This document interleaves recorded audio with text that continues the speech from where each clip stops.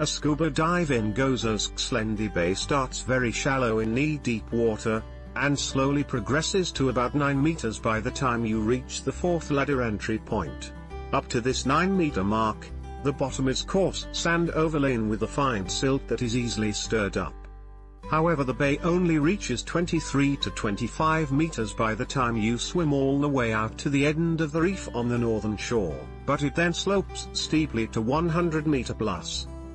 It is steeper on the northern side, with more of a boulder slope on the south side until you turn the corner into the little side bay.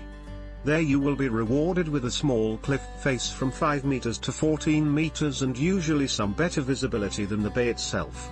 There is also a freshwater spring entering the bay here, so expect a shimmering halocline and a drop in water temperature of a degree or two,